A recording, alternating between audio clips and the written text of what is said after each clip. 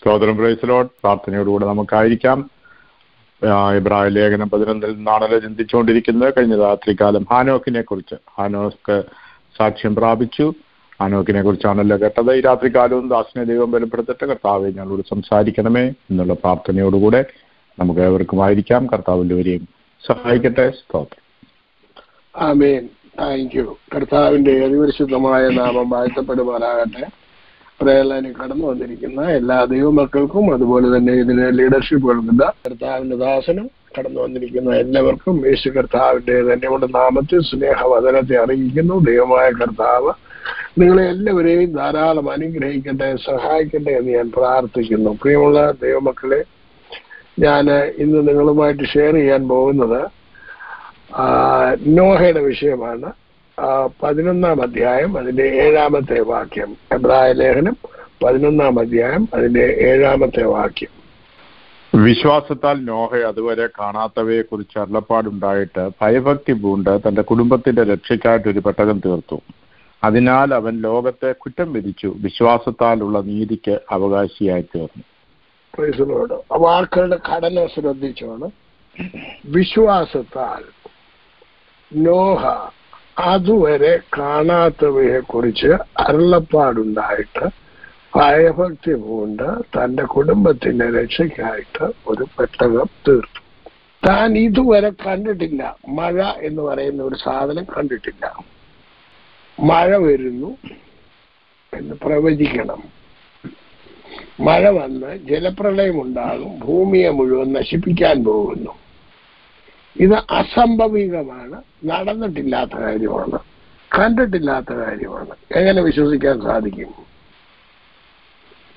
കണ്ടിട്ടില്ലാത്തതിനെ എങ്ങനെ വിശ്വസിക്കാൻ സാധിക്കും? അതാണ് ചോദ്യം. നമ്മൾ കണ്ടിട്ടില്ല. നമ്മുടെ ശരീരത്തിന് സൗഖ്യം കണ്ടിട്ടില്ല. നമ്മുടെ വീട് വാങ്ങിച്ചത് വീടുണ്ട് എന്നുള്ളത് കണ്ടിട്ടില്ല. അല്ലെങ്കിൽ നമുക്ക് ജോലി കിട്ടി എന്നുള്ളത് കണ്ടിട്ടില്ല. എങ്ങനെ വിശ്വസിക്കാൻ സാധിക്കും? അല്ലെ എന്റെ മകൻ അല്ലെ എന്റെ മകൾ അല്ലെ ഞാൻ ഗൾഫിൽ പോയി എന്ന് വിശ്വസിക്കാതെ കാണാതെ എങ്ങനെ വിശ്വസിക്കാൻ സാധിക്കും? നമ്മൾ അങ്ങനെ പല കാര്യങ്ങളും എങ്ങനെ വിശ്വസിക്കേണ്ടത് ഇന്നത്തെ കാലത്ത് മനുഷ്യർ കണ്ടെങ്കിലേ വിശ്വസിക്കത്തുള്ളൂ എന്നാണ് പലരുടെയും ചിന്താഗതി പക്ഷെ ഞാൻ അങ്ങനെ ഒരു വ്യക്തി ആയിരുന്നില്ല എന്റെ ചെറുപ്പം മുതലേ കാണാതെ വിശ്വസിച്ചിട്ടുള്ള ഒരു വ്യക്തിയായിരുന്നു. കാണാതെ വിശ്വസിച്ചു. എങ്ങനെ വിശ്വസിച്ചു? ദൈവത്തിൽ വിശ്വസിച്ചു. അത് കാരണം എനിക്ക് ദൈവവചനം പറഞ്ഞാൽ ഉടനെ തന്നെ ഞാൻ അതിനകത്തിലൂടെ കാണും. ദൈവം പറഞ്ഞത് അത് സംഭവിച്ചതായിട്ട് ഞാൻ കാണും. ഉദാഹരണം ഞാൻ നിങ്ങളോടൊന്ന് പറഞ്ഞു തരാം ഒരുപാട് പ്രാവശ്യം പണ്ട് ഞാൻ നിങ്ങളോട് പറഞ്ഞിട്ടുള്ളതാണ്. സഭാപ്രസംഗയുടെ പുസ്തകം ഒൻപതാം അധ്യായം. അതിന്റെ ഏഴ് മുതൽ പത്ത് വരെയുള്ള വാക്യം നീ ചെന്ന് സന്തോഷത്തോടുകൂടി അപ്പം തിന്നുക ആനന്ദ ഹൃദയത്തോടെ വീഞ്ഞു കുടിക്ക. ദൈവം നിന്റെ പ്രവൃത്തികളിൽ പ്രസാദിച്ചിരിക്കുന്നുവല്ലോ. നിന്റെ വസ്ത്രം എല്ലായ്പ്പോഴും വെള്ളയായി ഇരിക്കട്ടെ. നിന്റെ തലയിൽ എണ്ണ കുറയാതിരിക്കട്ടെ. സൂര്യന് കീഴെ അവൻ നിനക്ക് നൽകിയിരിക്കുന്ന മായയായുള്ള ആയുഷ്കാലത്തൊക്കെയും നീ സ്നേഹിക്കുന്ന ഭാര്യയോടുകൂടെ സുഖിച്ചുകൊള്ളുക. അതല്ലോ ഈ ആയുസ്സിലും സൂര്യന്റെ കീഴിൽ നിനക്ക് നീ ചെയ്യുന്ന പ്രയത്നത്തിലും നിനക്കുള്ള ഓഹരി. ചെയ്യുവാൻ നിനക്ക് സംഗതി വരുന്നതൊക്കെയും ശക്തിയോടെ ചെയ്യുക. നീ ചെല്ലുന്ന പാതാളത്തിൽ പ്രവൃത്തിയോ സൂത്രമോ അറിവോ ജ്ഞാനമോ ഒന്നുമില്ല. ഇത് ഞാൻ സൗദി അറേബ്യയിലായിരുന്നപ്പോൾ വായിച്ചു. വിവാഹം കഴിച്ച് അഞ്ചാമത്തെ ദിവസം ഞാൻ നാട്ടിൽ നിന്ന് പോയതാണ്. അവിടെ ചെന്നു. ഞാൻ എല്ലായിടത്തും കൊണ്ടുപോകുമായിരുന്നു. അങ്ങനെ അവിടെ കൊണ്ടുപോയി. ഇത് വായിച്ചു. വായിച്ച ഉടനെ തന്നെ മടക്കി വെച്ചു. നീ അത് സന്തോഷത്തോടുകൂടി അപ്പം നിന്നുക. ആനന്ദത്തോടുകൂടി വീഞ്ഞു കുടിക്കുക. ദൈവം നിന്റെ പ്രവർത്തിയെ പ്രസാദിച്ചിരിക്കുന്നു. എനിക്ക് ഭയങ്കര സന്തോഷമായി. നിന്റെ വസ്ത്രം എല്ലായ്പ്പോഴും വെള്ളയായിരിക്കട്ടെ. ഞാൻ പോയി വെള്ള ഉടുപ്പ് വെള്ള പാന്റ് വെള്ള ഷർട്ട് വെള്ള ബെൽറ്റ് വെള്ള ഷൂ ഇതെല്ലാം വാങ്ങിച്ചു.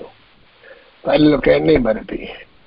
സൂര്യന് കീഴെ നിനക്ക് തന്നിരിക്കുന്ന നൽകി നൽകിയിരിക്കുന്ന മായായിട്ടുള്ള ആയുഷ്കാലമൊക്കെ നീ സ്നേഹിക്കുന്നതിന്റെ ഭാര്യമായ ഭാര്യയോടെ മായയുള്ള നിന്റെ ആയുഷ്കാലമൊക്കെ സൂചിച്ചു കൊള്ളുക. കർത്താവ് പറഞ്ഞ് നിന്റെ ഭാര്യയോടെ ജീവിക്കണം ഞാൻ അതുകൊണ്ട് നാട്ടിൽ പോകാന്ന് പറഞ്ഞ്. ഇത് ഈ നിന്റെ ആയുസിൽ ആയുസിലും സൂര്യന്റെ കീഴിൽ നീ ചെയ്യുന്ന സാധന പ്രയത്നം നിനക്കുള്ള ഓഹരി അതാണെന്ന് കർത്താവ് പറഞ്ഞു. ഞാൻ ഉടനെ തന്നെ അവിടെ നിന്ന് ഇതെല്ലാം ഇതെല്ലാം വാങ്ങിച്ച് തുണിയും പാക്ക് ചെയ്ത് റിസൈനും ചെയ്ത് നേരെ വീട്ടിൽ വന്നു. നീ ചെയ്യുവാൻ സംഗതി വരുന്നതൊക്കെ ശക്തിയോടെ ചെയ്യുക. നീ ചെല്ലുന്ന പാതാളത്തിൽ പ്രവൃത്തിയോ സൂത്രമോ അറിവോ ജ്ഞാനമോ ഒന്നുമില്ല. വായിച്ചു കേട്ടു ഉടനെ ഞാൻ ഇറങ്ങിപ്പോന്നു അത് അതുപോലെ സംഭവിക്കുമെന്ന് ഞാൻ വിശ്വസിച്ചു. എന്റെ ജീവിതത്തിൽ അതുപോലെ തന്നെ സംഭവിച്ചു. മക്കളെ ഞാൻ അങ്ങനെ ഒരു മനുഷ്യനായി പോയി. എന്തോ ചെയ്യാൻ പറ്റും? അത് എഴുതിയിരിക്കുന്ന അതുപോലെ അങ്ങ് വിശ്വസിക്കും അത് അതുപോലെ തന്നെ ആണെന്നും വിശ്വസിക്കും. അത് എന്റെ ജീവിതത്തിൽ നടന്നിട്ടുണ്ട്. അത് കാരണം ഞാൻ എല്ലാവരോടും പറയുകയും ചെയ്യുന്നു. നോഹ കണ്ടിട്ടില്ല. നോഹ വിശ്വസിച്ചു. അതിനെയാണ് വിശ്വാസത്തിന്റെ കലവറ നോഹയ്ക്ക് വേണ്ടി തുറന്നു. അപ്പം ഇനി നമുക്ക് നോഹയുടെ കാലത്തുണ്ടായിരുന്ന മനുഷ്യനെങ്ങനെയുള്ള നമുക്ക് നോക്കാം. ഉൽപ്പത്തി പുസ്തകം ആറാം അധ്യായം. അഞ്ച് മുതൽ ഉള്ള വാക്യങ്ങളൊന്ന് വായിച്ചാണ്. ഭൂമിയിൽ മനുഷ്യന്റെ ദുഷ്ടത വലിയതെന്നും അവന്റെ ഹൃദയ വിചാരങ്ങളുടെ നിരൂപണമൊക്കെയും എല്ലായ്പ്പോഴും ദോഷമുള്ളതത്രയെന്നും യഹോവ കണ്ടു. താൻ ഭൂമിയിൽ മനുഷ്യനെ ഉണ്ടാക്കുകൊണ്ട് യഹോവയെ അനുദപിച്ചു അത് അവന്റെ ഹൃദയത്തിന് ദുഃഖമായി. ഞാൻ സൃഷ്ടിച്ചിട്ടുള്ള മനുഷ്യനെ ഭൂമിയിൽ നിന്ന് നശിപ്പിച്ചു കളയും. മനുഷ്യനെയും മൃഗത്തെയും ഇഴജാതിയെയും ആകാശത്തിലെ പക്ഷികളെയും തന്നെ അവയെ ഉണ്ടാക്കുക കൊണ്ട് ഞാൻ അനുദപിക്കുന്നുവെന്ന് ഹോവ അരളി ചെയ്തു. എന്നാൽ നോഹയ്ക്ക് ദൈവത്തിന്റെ കൃപ ലഭിച്ചു. ഭൂമിയിൽ ഭൂമി മുഴുവൻ നശിപ്പിക്കാൻ പോവുകയാണ്. എനിക്ക് മനസ്സിലാകുന്നത് ഒറ്റ കാര്യം. ദൈവത്തിന്റെ കൃപ നോഹയ്ക്ക് കിട്ടി. ആ കൃപ കിട്ടിയ നോഹയ്ക്ക് ഭൂമി മുഴുവനും നശിക്കുമ്പോഴും നോഹയും കുടുംബം രക്ഷപ്പെട്ടു. പൗലോസിന് മാത്രം മറുപടി കിട്ടിയിട്ടില്ലെന്നാണ് എല്ലാവരും പറയുന്നത്. എനിക്ക് ഒറ്റ പിടിയും കിട്ടാത്ത ഒരു വിഷയമാണ് ലോകം മുഴുവൻ നശിക്കാൻ പോവാണ്. കൃപ കിട്ടിയ നോഹയെ അതിനകത്തുനിന്ന് രക്ഷപ്പെട്ടു. പക്ഷെ പൗലോസിന് മാത്രം മറുപടി കിട്ടിയില്ല എന്നാണ് ഉപദേശിമാർ പറയുന്നത്. ഞാൻ അതിനകത്ത് അങ്ങോട്ട് വിശ്വസിക്കാൻ എനിക്ക് പറ്റുന്നില്ല. അതിന് കൃപ കിട്ടിയവരാരും നഷ്ടപ്പെട്ട് നശിച്ചു പോയിട്ടില്ല കൃപയാണ് കിട്ടിയിരിക്കുന്നത്. അതിനകത്തുനിന്നും നോഹ രക്ഷപ്പെടുന്നു. ഇനിയും പതിനൊന്ന് മുതൽ താഴോട്ട് കൊണ്ട് വായിക്കുന്ന ഉടനെ നോഹ എന്ത് ചെയ്തു എന്ന് ചോദിച്ചാൽ തനിക്കും തന്റെ കുടുംബത്തിനും വേണ്ടി അവൻ പ്രവർത്തിച്ചു. ഇത് നോക്കണം. തനിക്കും തന്റെ കുടുംബത്തിനും വേണ്ടി പ്രവർത്തിച്ചു. നാട്ടുകാരോട് പറഞ്ഞു ഞങ്ങൾ ഇതുപോലൊക്കെ വരാൻ പോകുന്നു അത് നമുക്ക് പുതിയ നിയമത്തിലൊക്കെ കാണാൻ സാധിക്കും. പക്ഷേ നോഹ പറഞ്ഞതാരും വിശ്വസിച്ചില്ല. പക്ഷേ ദൈവത്തിൽ നോഹ വിശ്വസിച്ചു. വിശ്വസിച്ചവന് കൃപ കിട്ടി. വിശ്വസിച്ചവൻ തനിക്ക് വേണ്ടി പ്രവർത്തിച്ചു. അപ്പോ പ്രവൃത്തിയില്ലാത്ത വിശ്വാസം വ്യർത്ഥമാണെന്ന് നോഹ പ്രവൃത്തിയിൽ കൂടി കാണിച്ചു കൊടുത്തു. അത് താഴോട്ട് വായിക്കാൻ ഹർദാനാസിന് നോഹ എങ്ങനെയാണ് പ്രവർത്തിച്ചതെന്നൊക്കെ അതിനകത്ത് എഴുതിയിട്ടുണ്ട്. പതിനൊന്ന് പോലെ. എന്നാൽ ഭൂമി ദൈവത്തിന്റെ മുമ്പാകെ വഷളായി ഭൂമി അതിക്രമം കൊണ്ട് നിറഞ്ഞിരുന്നു. ദൈവം ഭൂമിയെ നോക്കി അത് വഷളായി എന്ന് കണ്ടു. സകല ജഡവും ഭൂമിയിൽ തന്റെ വഴി വഷളാക്കിയിരുന്നു.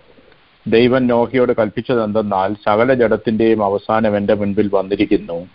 ഭൂമി അവരാൽ അതിക്രമം കൊണ്ട് നിറഞ്ഞിരിക്കുന്നു. ഞാൻ അവരെ ഭൂമിയോടുകൂടെ നശിപ്പിക്കും. നീ ഗോഫർ മരം കൊണ്ട് ഒരു പെട്ടകമുണ്ടാക്കുക പെട്ടകത്തിന് അറകൾ ഉണ്ടാക്കി അകത്തും പുറത്തും കീൽ തേക്കണം. അത് ഉണ്ടാക്കേണ്ടതിന് ഉണ്ടാക്കേണ്ടത് എങ്ങനെയെന്നാൽ പെട്ടകത്തിന്റെ നീളം മുന്നൂറ് മുഴം വീതി അൻപത് മുഴം ഉയരം മുപ്പത് മുഴം. പെട്ടകത്തിന് കിളിവാതിലുണ്ടാക്കണം മേൽ നിന്ന് ഒരു മുഴം താഴെ അതിലെ അതിനെ വെക്കണം. പെട്ടകത്തിന്റെ വാതിൽ അതിന്റെ വശത്ത് വെക്കണം. താഴത്തെയും രണ്ടാമത്തെയും മൂന്നാമത്തെയും തട്ടായി അതിനെ ഉണ്ടാക്കണം. ആകാശത്തിന് കീഴിൽ നിന്ന് ജീവശ്വാസമുള്ള സർവജടത്തെയും നശിപ്പിക്കാൻ ഞാൻ ഭൂമിയിൽ ഒരു ജലപ്രളയം വരുത്തും. ഭൂമിയിലുള്ളതൊക്കെയും നശിച്ചു പോകും. നിന്നോടോ ഞാനൊരു നിയമം ചെയ്യും. നീയും നിന്റെ പുത്രന്മാരും ഭാര്യയും പുത്രന്മാരുടെ ഭാര്യമാരും പെട്ടകത്തിൽ കടക്കണം. സകല ജീവികളിൽ നിന്നും സർവജടത്തിൽ നിന്നും തന്നെ ഈരണ്ട് ഈരണ്ട് ഈരണ്ട് ഈരണ്ടിനെ നിന്നോടുകൂടെ ജീവരക്ഷയ്ക്കായിട്ട് പെട്ടകത്തിൽ കയറ്റണം. അവയാണും പെണ്ണുമായിരിക്കണം അതത് തരം പക്ഷികളിൽ നിന്നും അതത് തരം മൃഗങ്ങളിൽ നിന്നും ഭൂമിയിലെ അതത് തരം ഇഴജാതികൾ നിന്നൊക്കെയും ഈരണ്ടീരണ്ട് ജീവരക്ഷയ്ക്കായിട്ട് നിന്റെ അടുക്കൽ വരണം. നീയോ സകല ഭക്ഷണ സാധനങ്ങളിൽ നിന്നും വേണ്ടുന്നതെടുത്ത് സംഗ്രഹിച്ചു കൊള്ളണം അത് നിനക്കും അവയ്ക്കും ആഹാരമായിരിക്കണം. ദൈവം തന്നോട് കൽപ്പിച്ചതൊക്കെയും നോഹ ചെയ്തു. അങ്ങനെ തന്നെ അവൻ ചെയ്തു. ഇരുപത്തിരണ്ടാമത്തെ വാക്യം നിങ്ങൾ ശ്രദ്ധിച്ചാൽ ദൈവം തന്നോട് കൽപ്പിച്ചതൊക്കെയും നോഹ ചെയ്തു. അങ്ങനെ തന്നെ അവൻ ചെയ്തു. ഇങ്ങനെ മോശയുടെ വിഷയത്തിലും ഇതുപോലെ തന്നെ എഴുതിയിരിക്കുന്നത്. ദൈവം തന്നോട് കൽപ്പിച്ചതൊക്കെയും മോശ ചെയ്തു. അങ്ങനെ തന്നെ അവൻ ചെയ്തു. ദൈവം നമ്മളെ കുറിച്ചും ആഗ്രഹിക്കുന്നത് സെയിം പ്രൊസീജിയർ തന്നെയാണ്. സെയിം തിങ് ദൈവം സകല മനുഷ്യരിൽ നിന്നും ആഗ്രഹിക്കുന്നത് അങ്ങനെ തന്നെയാണ്. ഇസ്രായേൽ മക്കളുടെ പരാജയം അവിടെയായിരുന്നു. ദൈവം കൽപ്പിച്ചതുപോലെ അവർ ചെയ്തില്ല എന്നുള്ളതായിരുന്നു. ആദമവ ദമ്പതിമാരുടെ പരാജയം അവിടെ തന്നെയായിരുന്നു. ദൈവം കൽപ്പിച്ചതുപോലെ അവർ ചെയ്തില്ല. പരാജയപ്പെട്ടവരുടെ കൂട്ടത്തിൽ നമ്മളായിരിക്കരുത്. നമ്മുടെ ലക്ഷ്യം ദൈവം എന്ത് പറഞ്ഞു അത് ചെയ്ത് ദൈവത്തിന്റെ പ്രീതി സമ്പാദിച്ച് നാശത്തിൽ നിന്നും വിട്ടൊഴിയുവാൻ ഏക മാർഗം കർത്താവ് പറഞ്ഞതുപോലെ തന്നെ ചെയ്യുക എന്നുള്ളതാണ്. ഇന്ന് ഞാനൊരു സാക്ഷ്യം കേട്ടു. ഒരു സഹോദരിയുടെ കുടുംബ വീട് നാട്ടിലുള്ളതാണ്. ആ വീട്ടിൽ താമസിക്കുന്നത് അവരുടെ ബന്ധത്തിൽപ്പെട്ട ഒരാളാണ്. ആ വീട് വിൽക്കാൻ സമ്മതിക്കത്തില്ലെന്ന് മാത്രമല്ല അതിനകത്തിൽ അവരാണ് കയറി താമസിക്കുന്നത്. ഇപ്പം അവരവിടെ ഇവരവിടെ ചെന്നപ്പോ ഇവർക്ക് പോലും താമസിക്കാൻ സൗകര്യം കൊടുക്കാത്ത രീതിയിൽ അവരവിടെ അട ഇത് ചെയ്ത് വെച്ചിരിക്കുകയായിരുന്നു. എന്നോട് പറഞ്ഞതുപോലെ തന്നെ ഞാൻ വീടിനോട് നോക്കി പ്രാർത്ഥിക്കാൻ പറഞ്ഞു. യേശുവിന്റെ നാമത്തിൽ ഇങ്ങനെ സംഭവിക്കട്ടെ ഇറങ്ങി പോകട്ടെ എന്ന് പറയാൻ പറഞ്ഞു. ഇന്നലെ അവർ മുഴുവനായിട്ട് ഇറങ്ങിപ്പോയി. ഇന്ന് വളരെ സന്തോഷത്തോടെ സാക്ഷ്യം പറഞ്ഞു. ഇന്ന് സഹോദരി അധികാരത്തോടെ പ്രാർത്ഥിക്കുന്നത് കണ്ടു. വാ ഒത്തിരി സന്തോഷം എനിക്കുണ്ടായി. കാരണം എന്നതറിയാമോ ദൈവം കൊടുത്ത അതോറിറ്റി അവർ ഉപയോഗിച്ചപ്പോൾ ആവശ്യക്കാർ മാത്രമേ ഉപയോഗിക്കത്തുള്ളൂ. ആ പുള്ളിക്കാരത്തിക്ക് ആവശ്യമായിരുന്നു. അവരുപയോഗിച്ചപ്പോ അവർക്ക് അതിന്റെ വിടുതൽ കിട്ടി. എന്റെ ജീവിതത്തിൽ ഞാൻ കർത്താവ് പറഞ്ഞത് അങ്ങനെ തന്നെ ചെയ്യാനായിട്ട് മുഴുവനും എനിക്ക് ഇതുവരെയും പറ്റിയിട്ടില്ല. എങ്കിലും എന്നെ കൊണ്ട് പറ്റുന്നത് പോലൊക്കെ കർത്താവ് പറഞ്ഞതുപോലൊക്കെ ഞാൻ ചെയ്യുന്നുണ്ട്. എല്ലാം നമ്മളെ കൊണ്ട് ചെയ്തെടുക്കാനായിട്ട് വലിയ പ്രയാസം. അത് ദൈവത്തിന് അറിയാം നമ്മുടെ ബലഹീനതകളെ കുറിച്ചറിയാം. ആ ബലഹീനതയ്ക്ക് കർത്താവ് നമുക്ക് തുണ നിൽക്കും. അതാണ് പരിശുദ്ധാത്മാവ്. കർത്താവ് പറഞ്ഞതുപോലെ ചെയ്യുവാൻ നമ്മൾ മുതിർന്നാൽ കർത്താവ് നമുക്ക് വേണ്ടി വലിയ കാര്യങ്ങളെ ചെയ്തു തരും. ഏഴ് എട്ട് അധ്യായത്തിനകത്ത് നമുക്ക് കാണാൻ സാധിക്കുന്നത് ആ ജലപ്രളയത്തിന്റെ ഭീകരത നമുക്ക് കാണാൻ സാധിക്കും. എട്ടാം അധ്യായത്തിനകത്ത് ഏഴാം അധ്യായത്തിനകത്ത് പത്താമത്തെ വാക്യം. ഏഴ് ദിവസം കഴിഞ്ഞ ശേഷം ഭൂമിയിൽ ജലപ്രളയം തുടങ്ങി. എന്ന് കണ്ടു. പതിനൊന്നാമത്തെ വാക്യത്തിനകത്ത് നോഹയുടെ ആയുസിന്റെ അറുന്നൂറാം സംവത്സരത്തിൽ രണ്ടാം മാസം പതിനേഴാം തീയതി തന്നെ അന്ന് തന്നെ ആഴിയുടെ ഉറവുകൾ തുറക്കുകയും പിളർന്നു. ആകാശത്തിന്റെ കിളിവാതിലുകളും തുറന്നു. അങ്ങനെ മഴ പെയ്യുവാനും വെള്ളം ഭൂമിയിൽ ഉയരുവാനും തുടങ്ങി. യഹോവ വാതിലടച്ചതും നമ്മൾ കണ്ടു. ജലപ്രളയം ഉണ്ടായി. ഇനി അതിന്റെ ഇരുപത്തി മൂന്ന് ഇരുപത്തിനാല് വാക്യം ഒന്ന് വായിച്ചാൽ നേരത്തെ ഭൂമിയിൽ മനുഷ്യനും മൃഗങ്ങളും ഇഴജാതിയും ആകാശത്തിലെ പറവകളുമായി ഭൂമിയിൽ ഉണ്ടായിരുന്ന സകല ജീവജാലങ്ങളും നശിച്ചുപോയി അവ ഭൂമിയിൽ നിന്നും നശിച്ചുപോയി നോഹയും അവനോടുകൂടെ പെട്ടകത്തിൽ ഉണ്ടായിരുന്നവരും മാത്രം ശേഷിച്ചു. വെള്ളം ഭൂമിയിൽ നൂറ്റൻപത് ദിവസം പൊങ്ങിക്കൊണ്ടിരുന്നു. നൂറ്റി അൻപത് ദിവസം പൊങ്ങിക്കൊണ്ടിരുന്നു. നിങ്ങൾ നദീതീരത്ത് താമസിച്ചത് എത്ര പേരുണ്ടെന്നൊന്നും എനിക്കറിയത്തൊന്നുമില്ല. ഞാൻ നദീതീരത്താണ് താമസിച്ചുകൊണ്ടിരുന്നത്. തീരത്ത് അത് അത്ര തീരത്തല്ല കുറച്ച് മാറിയ. വെള്ളം വെള്ളത്തിൽ വീണ് മരിച്ചാൽ ശവം മൂന്ന് ദിവസത്തിനകം പൊങ്ങി വരും. അത് പിന്നെ താണു പോകും താണു പോയാൽ പിന്നെ പൊങ്ങി വരത്തില്ല. അത് പിന്നെ വെള്ളത്തിൽ ഉള്ള ജീവികൾ തിന്ന് അവശേഷിപ്പിച്ച് അത് മുഴുവൻ നശിച്ചു പോകത്തേ ഉള്ളൂ. ഈ നൂറ്റമ്പത് ദിവസം വെള്ളം പൊങ്ങി കിടന്നു കഴിഞ്ഞപ്പോഴേ ഈ ലോകത്തിലുള്ള സകല ജീവജന്തുക്കളും ചത്തു വീണ് കഴിഞ്ഞു കഴിഞ്ഞാൽ ആ ഭൂ വെള്ളത്തിലുള്ള ജീവജന്തുക്കൾ ഇത് മുഴുവൻ ഈ ശവം മുഴുവൻ തിന്നു തീർക്കും. ഒന്നും ബാക്കിയൊന്നും കാണത്തൊന്നുമില്ല. അപ്പൊ അല്ല ആരോ പറയാനിടയായി ലോക കാക്ക വിട്ടപ്പോ കാക്ക തിരിച്ചു വന്നില്ല. എന്ന് പറഞ്ഞാൽ പറയുന്ന കേട്ടു. കേട്ടിട്ടുണ്ട് ഞാൻ. പ്രസംഗിക്കുന്ന കേട്ടിട്ടുണ്ട്. എനിക്കിതിന്റെ കഥയൊന്നും അറിയത്തൊന്നുമില്ല. പക്ഷെ എന്നുണ്ടെങ്കിൽ കാക്കയ്ക്ക് കാക്ക പോയി ശവം തിന്നുകൊണ്ടിരിക്കുകയായിരുന്നതാണ് ആ പ്രസംഗിച്ച ആളിന്റെ അഭിപ്രായം.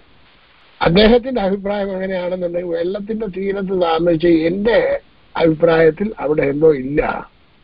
ഒരു ശവവും കാണത്തില്ല. അഴുക്കും ഒക്കെ കാണുമായിരിക്കും. അതിന്റെ എട്ടാം അധ്യായത്തിന്റെ ഏഴാമത്തെ വാക്യം ഒന്ന് വായിച്ചാട്ടെ. അവനൊരു മലങ്കാക്കയെ പുറത്തുവിട്ടു. അത് പുറപ്പെട്ട് ഭൂമിയിൽ വെള്ളം വറ്റിപ്പോയത് വരെ പോയും വന്നും കൊണ്ട് ഇരുന്നു. ഞാൻ വായിക്കുന്ന വചനത്തിനകത്ത് മലങ്കാക്ക വെള്ളം വറ്റി പോകുന്നത് വരെ പോയും വന്നുകൊണ്ടേ ഇരുന്നു. അദ്ദേഹത്തിന്റെ പ്രസംഗത്തിൽ ഈ കാക്കയെ വിട്ടു പിന്നെ കാക്ക വന്നില്ല. കാക്ക അവിടെ തന്നെയാണ്. ദൈവമക്കളെ ഇതേമാതിരിയുള്ള ഒരുപാട് റോങ് ഇൻഫർമേഷൻ ഒരുപാട് പേര് മനസ്സിൽ കിടക്കുന്നത് കൊണ്ടാകുമ്പോൾ ഉണ്ടാകുന്ന പ്രശ്നം എന്താണെന്ന് ചോദിച്ചു കഴിഞ്ഞാൽ എന്തിനാണ് ആ റോങ് ഇൻഫർമേഷൻ ഞാൻ നിങ്ങളോട് പറഞ്ഞതെന്ന് ചോദിച്ചു കഴിഞ്ഞാൽ നിങ്ങൾ എങ്ങനെയും ആരെങ്കിലും കേട്ടിട്ടുണ്ടെന്നുണ്ടെങ്കിൽ അത് എപ്പോഴും ഓർത്തോണം ബൈബിൾ നമ്മൾ വായിക്കണം. വായിച്ചിട്ട് അതിനകത്ത് എഴുതിയിരിക്കുന്നത് പ്രസംഗത്തോടെ കണ്ട് കർത്താവിനാഹം ഞാൻ പറഞ്ഞ മാതിരി ബരോവയക്കാര് ബൈബിളിൽ അങ്ങനെയോ എന്ന് പരിശോധിച്ച് പോന്നു അങ്ങനെയല്ലേ കർത്താവിനാഥനെ അതിനെ അതന്നെ. എന്ന് പറഞ്ഞ മാതിരി നമ്മൾ പരിശോധിക്കണം.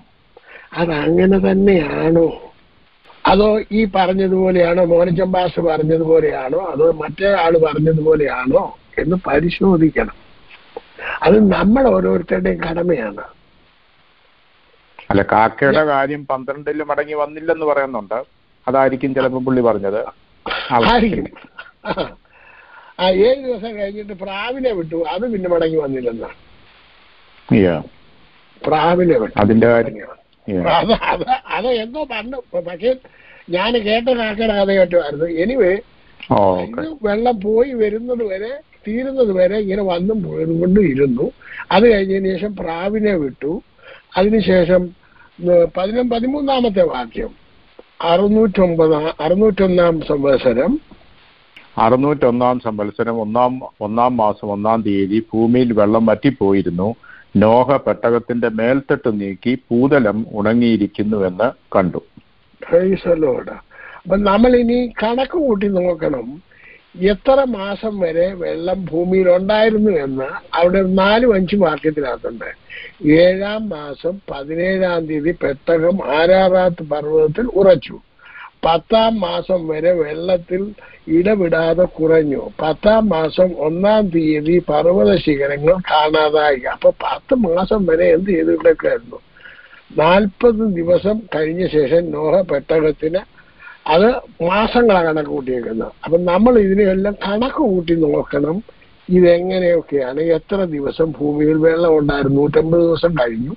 ആ വെള്ളം പൊങ്ങിക്കൊണ്ടിരുന്നു. പിന്നെ താഴാൻ എത്ര ദിവസം ഇരുന്നു? ഇതെല്ലാം നമ്മൾ കണക്ക് കൂട്ടി ഞാൻ ഇതെല്ലാം കണക്ക് കൂട്ടി നോക്കിയിട്ടുണ്ട്. എന്റെ എനിക്ക് സമയം കിട്ടിയ സമയത്തൊക്കെ. എന്തിനാ ഇത് കണക്ക് കൂട്ടി നോക്കിയെന്നു ചോദിച്ചു കഴിഞ്ഞാൽ നമ്മൾ ചില കാര്യങ്ങൾ കർത്താവ് പറഞ്ഞതൊക്കെ കണക്ക് കൂട്ടി നോക്കണം. അന്നേരം നമ്മൾക്കൊരു ഐഡിയ കിട്ടും. ആരെങ്കിലും റോങ് ഇൻഫർമേഷൻ തന്നു കഴിഞ്ഞാൽ നമ്മൾ അതിനെ ഓവർകം ചെയ്യാനായിട്ട് നമുക്ക് സാധിക്കണം. പല കഥ പല കാര്യങ്ങളും നമുക്ക് തെറ്റായിട്ടുള്ള ധാരണകൾ ആരെങ്കിലും തരുന്നു കഴിഞ്ഞു കഴിഞ്ഞാൽ അതിനെ വിശ്വസിക്കരുത്. അതിപ്പോ ഈ പറയുന്നത് ഞാനായാലും ലോകത്തിൽ ആരായാലും നമ്മൾക്ക് നമ്മൾ ബേസ് മുഴുവൻ വചനത്തിലായിരിക്കണം. വചനപ്രകാരം നമ്മൾ മുന്നോട്ട് പോകണം. അപ്പോഴാണ് ദൈവം നമ്മളിൽ സന്തോഷിക്കുന്നത്. ദൈവത്തിന്റെയാണ് വചനം. അപ്പൊ നമ്മളിൽ ദൈവം സന്തോഷിക്കണമെങ്കിൽ നമ്മൾ വചനത്തിന്റെ അടിസ്ഥാനത്തിൽ നമ്മൾ നിന്ന് മുന്നോട്ട് പോകണം. അതിനുശേഷം എട്ടാം അധ്യായത്തിലേക്ക് കടന്നു വരുന്നുണ്ട്. സകല മൃഗങ്ങളും ഒൻപത് മുതലോ പതിനെട്ട് മുതലുള്ള വാക്യങ്ങൾ താഴോട്ട് വെച്ചാട്ടെ കർത്താനാസിനെ അങ്ങനെ നോഹയും അവന്റെ പുത്രന്മാരും ഭാര്യയും പുത്രന്മാരുടെ ഭാര്യമാരും പുറത്തിറങ്ങി.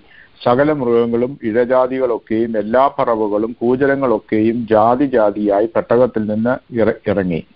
നോഹ യഹോവയ്ക്കൊരു യാഗപീഠം പണിതു. ശുദ്ധിയുള്ള എല്ലാ മൃഗങ്ങളിലും ശുദ്ധിയുള്ള എല്ലാ പറവുകളിലും ചിലതെടുത്ത് യാഗപീഠത്തിന്മേൽ ഹോമയാഗം അർപ്പിച്ചു. യഹോവ സൗരഭ്യവാസന മണത്തപ്പോൾ യഹോവ തന്റെ ഹൃദയത്തിൽ അള്ളി ചെയ്തത് ഞാൻ മനുഷ്യന്റെ നിമിത്തം ഇനി ഭൂമിയെ ശപിക്കയില്ല. മനുഷ്യന്റെ മനോനിരൂപണം ബാല്യം മുതൽ ദോഷമുള്ളതാകുന്നു. ഞാൻ ചെയ്തതുപോലെ സകല ജീവികളെയും ഇനി നശിപ്പിക്കുകയില്ല. ഭൂമിയിൽ ഉള്ള കാലത്തോളം ഭൂമിയുള്ള കാലത്തോളം വിതയും കൊയ്ത്തും ശീതവും ഉഷ്ണവും വെയിലും വേനലും വർഷവും രാവും പകലും നിന്നു പോകുകയുമില്ല. ഇപ്പം ദൈവം ഹൃദയത്തിൽ അരളി ചെയ്തു. അതുകൊണ്ട് പുറത്ത് ആരോടും പറഞ്ഞില്ല എന്നുള്ളതാണ് കഴിഞ്ഞ ദിവസം ഒരു ദേവദാസം പ്രസംഗിച്ചു. എനിക്ക് വേണ്ടപ്പെട്ട ഒരു ദേവദാസനാണ്. ഞാൻ ഒന്നും ചോദിക്കാൻ പോയില്ല. ഹൃദയത്തിൽ അരളി ചെയ്തിട്ടുണ്ടെന്നുണ്ടെങ്കിൽ ഇവിടെ എഴുതി വെക്കേണ്ട കാര്യമൊന്നും ഇല്ലായിരുന്നല്ലോ ഇവിടെ എഴുതി വെച്ചതുണ്ടെങ്കിൽ നമ്മളിവിടെ അറിയുന്നതിന് വേണ്ടിയായിരുന്നു.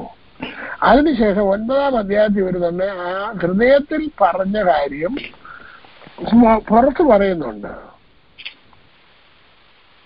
അത് പുറത്ത് പറയാതെ കഴിയുമ്പം ഹൃദയത്തിൽ മാത്രം സൂക്ഷിച്ചു വെച്ചോണ്ടിരുന്നിട്ടില്ല. അതിന്റെ പത്തും പതിനൊന്നും വാക്യം വായിച്ചാട്ടെ. ഇതാ നിങ്ങളോടും നിങ്ങളുടെ സന്തതിയോടും ഭൂമിയിൽ നിങ്ങളോടുകൂടെ ഉള്ള പക്ഷികളും കന്നുകാലികളും കാട്ടുമൃഗങ്ങളുമായ സകല ജീവജന്തുക്കളോടും പെട്ടകത്തിൽ നിന്ന് പുറപ്പെട്ട സകലവുമായി ഭൂമിയിലെ സകല മൃഗങ്ങളോടും ഒരു നിയമം ചെയ്യുന്നു. ഇനി സകല ജഡവും ജലപ്രളയത്താൽ നശിക്കയില്ല. ഭൂമിയെ നശിപ്പിക്കുവാൻ ഇനി ജല ജലപ്രളയം ഉണ്ടാകുകയുമില്ല എന്ന് ഞാൻ നിങ്ങളോട് ഒരു നിയമം ചെയ്യുന്നു. പിന്നെയും ദൈവം അരളി ചെയ്തത് ഞാനും നിങ്ങളും നിങ്ങളോട് കൂടെയുള്ള സകല ജീവജന്തുക്കളും തമ്മിൽ തലമുറ തലമുറയോളം സദാകാലത്തേക്കും ചെയ്യുന്ന നിയമത്തിന്റെ അടയാളമാവിത് ഞാൻ എന്റെ വില്ല് മേഘത്തിൽ വയ്ക്കുന്നു. അത് ഞാനും ഭൂമിയും തമ്മിലുള്ള നിയമത്തിന് അടയാളമായിരിക്കും. അപ്പൊ എട്ടാം അധ്യായത്തിൽ ഹൃദയത്തിൽ പറഞ്ഞു എന്ന് പറഞ്ഞത് മാത്രം പറഞ്ഞ് പ്രസംഗിച്ചത് കഴിഞ്ഞ ദിവസമാണ്. കഴിഞ്ഞ അധികം ദിവസമൊന്നും ആയിട്ടില്ല. എനിക്ക് വേണ്ടപ്പെട്ട ഒരു ഉപദേശിയുമാണ് പ്രസംഗിച്ചത്. അപ്പൊ ഞാൻ ഉദ്ദേശിച്ചത് ഈ ഉപദേശം എന്തുകൊണ്ട് അദ്ദേഹം ഇങ്ങനെ പറഞ്ഞത്? ബാക്കി അത് ഹൃദയത്തിൽ പറഞ്ഞതെന്നുണ്ടെങ്കിൽ അത് പിന്നെ രണ്ടാമത് പിന്നെ കർത്താവ് പറഞ്ഞിട്ടുണ്ടല്ലോ. അവരോട് നേരിട്ട് അരളി ചെയ്തിട്ടുണ്ടല്ലോ. അതാണ് പറഞ്ഞത്. ഹൃദയത്തിൽ പറഞ്ഞതേ ഉള്ളൂ. മനുഷ്യനോട് പറഞ്ഞില്ല. അപ്പൊ മനുഷ്യനെല്ലാം ചിന്ത എന്തായിരുന്നു? അപ്പൊ ആ ചിന്ത അവിടെ പത്ത് നൂറ് പേര് കേട്ടോണ്ടിരിക്കുന്നവരുടെ എല്ലാം ചിന്ത അങ്ങോട്ടങ്ങ് പോയി. ദൈവം മനുഷ്യനോട് പറഞ്ഞില്ല എന്നുള്ളതാണ്. ദൈവം മനുഷ്യനോട് പറഞ്ഞു. അപ്പൊ അങ്ങനെ വരുന്നുണ്ടെങ്കിൽ എന്തുകൊണ്ടാകുന്നു തെറ്റിദ്ധാരണകൾ നമ്മുടെ ഭൂമി നമ്മുടെ ജീവിതത്തിൽ വരുന്നു നോഹ വിശ്വാസത്താൽ പ്രവർത്തിച്ചു എന്നുണ്ടെങ്കിൽ നോഹയോട് ദൈവം നിയമവും പറഞ്ഞു കൊടുത്തു. താൻ ചെയ്ത നിയമം. ആ നിയമം ഒരിക്കലും മാറാത്ത നിയമമാണ്. അത് എവിടെയായിരിക്കുന്നത് ഇന്നും ആകാശത്ത് നമുക്ക് കാണാൻ സാധിക്കും. അത് മാത്രമല്ല അത് വെളിപ്പാട് പുസ്തകം നാലാം അധ്യായത്തിൽ ദൈവത്തിന്റെ സിംഹാസനത്തിന്റെ പുറകിൽ ഇരിക്കുന്നത് കാണാൻ സാധിക്കും. പത്താം അധ്യായത്തിൽ വെളിപ്പാട് പുസ്തകം പത്താം അധ്യായത്തിൽ ദൈവത്തിന്റെ തലയിൽ ഇരിക്കുന്നത് കാണാൻ സാധിക്കും. അത് വായിച്ചാട്ടെ റവലേഷൻ ടെൻ പത്താം അധ്യായം നിർത്താട്ടെ അതിന്റെ ഒന്നോ രണ്ടോ വാക്യം ഒന്ന് വായിച്ചാട്ടെ ബലവാനായ മറ്റൊരു ദൂതൻ സ്വർഗത്തിൽ നിറങ്ങുന്നത് ഞാൻ കണ്ടു. അവൻ മേഘമുടുത്തും തലയിൽ ആകാശവില്ല് ധരിച്ചും മുഖം സൂര്യനെ പോലെയും കാൽ തീത്തൂണ് പോലെയും ഉള്ളവൻ അത് അത് ഇംഗ്ലീഷിൽ ഒന്ന് വായിച്ചാട്ടെ കൃത്യദാസനെ അന്നേരം അത് റെയിൻബോ ആണെന്ന് മനസ്സിലാകും I saw another mighty angel coming down from heaven, clothed with a cloud, and a rainbow was on his head. His face was like the sun, and his feet like pillars of fire.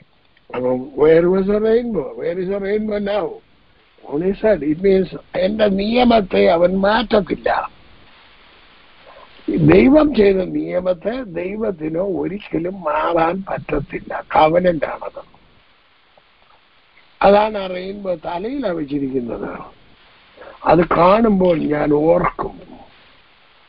ഒൻപതാം അധ്യായത്തിലുണ്ട് ആ rainbow കാണുമ്പോൾ ഞാൻ എന്ത് ചെയ്യും? മനുഷ്യനോടും മൃഗത്തോടുമുള്ള നിയമത്തെ ഓർക്കും. ഭൂമിയെ നശിപ്പിക്കാൻ ജലപ്രളയം ഒരു കാരണം ആകുകയില്ല. അങ്ങനെയാണെന്നുണ്ടെങ്കിൽ നമ്മുടെ ജീവിതത്തിൽ അത് വായിച്ചാണ്. പതിനാല് പതിനഞ്ച് പതിനാറ് ഉൽപ്പത്തി പുസ്തകം ഒൻപതിന്റെ പതിമൂന്ന് കൊല്ലം വായിച്ചു. ഞാൻ എന്റെ വില്ല് മേഘത്തിൽ വയ്ക്കുന്നു. അത് ഞാനും ഭൂമിയും തമ്മിലുള്ള നിയമത്തിന് അടയാളമായിരിക്കും. ഞാൻ ഭൂമിയുടെ മേതെ മേഘം വരുത്തുമ്പോൾ മേഘത്തിൽ വില്ല് കാണും. അപ്പോൾ ഞാനും നിങ്ങളും സർവജഡവുമായ സകല ജീവജന്തുക്കളും തമ്മിലുള്ള എന്റെ നിയമം ഞാൻ ഓർക്കും. ഇനി സകല ജഡത്തെ നശിപ്പിക്കാൻ വെള്ളം ഒരു പ്രളയമായി തീരുകയുമില്ല. ഇല്ല അടുത്ത വില്ല് മേഘത്തിലുണ്ടാകും. ദൈവവും ഭൂമിയിലെ സർവജഡവുമായ സകല ജീവികളും തമ്മിൽ എന്നേക്കുമുള്ള നിയമം ഓർക്കേണ്ടതിന് ഞാൻ അതിനെ നോക്കും. ഞാൻ ഭൂമിയിലുള്ള സർവജഡത്തോടും ചെയ്തിരിക്കുന്ന നിയമത്തിന് ഇത് അടയാളമെന്നും ദൈവം നോഹയോട് അരളി ചെയ്തു. അപ്പം നമ്മുടെ ജീവിതത്തിൽ ദൈവത്തെ എങ്ങനെയാണ് നിയമം ഓർമ്മിപ്പിക്കേണ്ടത് എന്ന് അവിടെ വ്യക്തമായിട്ട് പറയുന്നുണ്ട്. ഇതാണ് ദൈവത്തിന് വേണ്ടത്. നമ്മളോടുള്ള ദൈവത്തിന്റെ നിയമം ഇന്നതാണ്. കർത്താവ് എന്നോട് ഇപ്രകാരം അവിടുന്ന് അരളി ചെയ്തിട്ടുണ്ടല്ലോ. അതിൻ പ്രകാരം ഇതെനിക്ക് ലഭിക്കുവാൻ ഞാൻ ബാധ്യസ്ഥനാണ് എന്നുള്ളത് കർത്താവിന്റെ സന്നിധിയിൽ രാജസന്നിധിയിൽ ഓർമ്മിപ്പിക്കുക. വളരെ സിമ്പിളാണ് പ്രാർത്ഥന. വളരെ സിമ്പിളായിട്ട് നമ്മുടെ കാര്യങ്ങൾ സാധിച്ചു കിട്ടും. നമ്മൾ ആ രീതിയിൽ അപ്രോച്ച് ചെയ്യണം. കർത്താവ് നമ്മളോട് ഇത് ചെയ്ത രീതിയിൽ കർത്താവ് നമ്മളോട് പറഞ്ഞ രീതിയിൽ. ഭൂമിയുള്ള കാലത്തോളം ഈ നിയമത്തിന് മാറ്റം വരുത്താൻ ആർക്കും പറ്റത്തില്ല. ദൈവത്തിന് പറ്റത്തില്ല. അങ്ങനെ ഒരു എവർലാസ്റ്റിംഗ് കവനന്റ് നമ്മളോടും ചെയ്തിട്ടുണ്ട്. പുതിയ നിയമം. ഞാൻ പുതിയൊരു നിയമം ചെയ്യുന്ന കാലം വരുന്നു. അങ്ങനെ കാല- കാലത്തെ കുറിച്ചൊക്കെ നമ്മൾ പഠിച്ചു. നിയമക്കളെ നോഹ വിശ്വസിച്ചു. അത് പോലെ തന്നെ പ്രവർത്തിച്ചു. വിശ്വാസത്താൽ നോഹ അതുവരെ കാണാത്തതിനെ കുറിച്ച് അരുളപ്പാട് ഉണ്ടായിട്ട് ഭയഭക്തി ഉണ്ട് എന്നാൽ ഈ ഭയഭക്തി എന്ന് പറഞ്ഞു കഴിഞ്ഞാൽ ദൈവത്തോടുള്ള സ്നേഹത്തിൽ നിന്നുണ്ടാകുന്നതാണ് ഭയം. അവിടെ നിന്ന് വരുന്നതാണ് ഭക്തി. തന്റെ കുടുംബത്തിന്റെ രക്ഷയ്ക്കായിട്ട് ഒരു പെട്ടകം തീർത്തു. പ്രത്യേകം ഓർത്തണം തന്റെ കുടുംബത്തിന്റെ രക്ഷയ്ക്കായിട്ട് ഒരു പെട്ടകം തീർത്തു. നമ്മൾ ഏവരും അവരവരുടെ കുടുംബത്തിന്റെ രക്ഷയ്ക്ക് വേണ്ടി പെട്ടകം. അത് ഇപ്പോ ആ പെട്ടകമല്ല യേശു എന്ന പെട്ടകമാണ്. ആ പെട്ടകത്തിൽ നമ്മൾ കയറിയാൽ ലോകത്തിന്റെ അല്ലെന്നുണ്ടെങ്കിൽ ഈ നാശത്തിലേക്ക് പോകുന്നവരുടെ കൂട്ടത്തിലാകത്തില്ല. നിത്യതയിൽ പ്രവേശിക്കുവാൻ നമുക്ക് ഇടയായി തീരും അതിനായി ദൈവം ഒരുക്കട്ടെ എന്ന് പറഞ്ഞുകൊണ്ട് ഞാൻ എന്റെ വാക്കുകളെ അവസാനിപ്പിക്കുന്നു. ദൈവത്തിന്റെ കൃപ നിങ്ങളോട് എല്ലാവരോടും കൂടെ ഇരിക്കുമാറാകട്ടെ. സ്തോത്രം. പ്രൈസിലോട് രാത്രികാലം ദാസിന്റെ കൂടെ കേൾപ്പിച്ച നല്ല ദൈവിക ആലോചനയ്ക്കായിട്ട് ദൈവത്തെ സ്തുതിക്കുന്നു.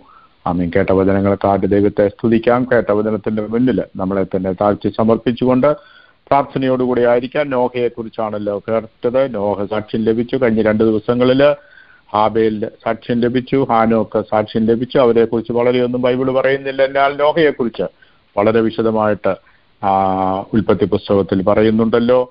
നോഹ ദൈവം കൽപ്പിച്ചതുപോലെ തന്നെ ചെയ്തുവെന്ന് കഴിഞ്ഞ ദിവസം അച്ചൻകുഞ്ഞു മാഷ് സംസാരിച്ചപ്പോൾ ആ വിഷയമായിരുന്നു. ഇരുപത്തിരണ്ടാം വാക്യം കുറിവാക്യം എടുത്തുകൊണ്ട് ദൈവം തന്നോട് കൽപ്പിച്ചതൊക്കെ നോക്കി ചെയ്തു. അങ്ങനെ തന്നെ അവൻ ചെയ്തു. ആമീൻ. സ്തോത്രം. കർത്താവ് നമ്മളോട് കൽപ്പിക്കുന്നത് പോലെ ചെയ്തുകൊണ്ട് ജീവിപ്പാൻ പ്രവർത്തിപ്പാനായിട്ട് കർത്താവിന്റെ ഒരേയും സഹായിക്കട്ടെ. അപ്പോൾ തന്നെ നോഹ പെട്ടകമൊരുക്കിയതുപോലെ നമുക്കും ഈ ദിവസങ്ങളിൽ പെട്ടകമൊരുക്കാം അതിലേക്ക് അനേകരെ കൂട്ടിക്കൊണ്ടുവരുവാനായിട്ട് കർത്താവ് എല്ലാവർക്കും കൃപ ചെയ്യട്ടെ. കേട്ട വചനത്തിന്റെ അടിസ്ഥാനത്തിൽ വീണ്ടും താഴ്ച സമർപ്പിച്ചുകൊണ്ട് പ്രാർത്ഥനയോടുകൂടി ആയിരിക്കാം. കർത്താവ് എല്ലാവരെയും സഹായിക്കട്ടെ.